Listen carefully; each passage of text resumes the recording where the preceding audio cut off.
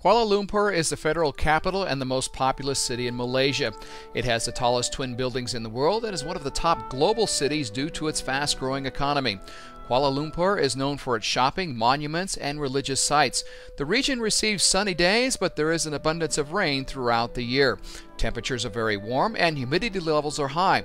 The best time to visit this city would be from June through September, as rainfall is slightly less. The monsoon season at Kuala Lumpur runs from October to March, which are the city's wettest months.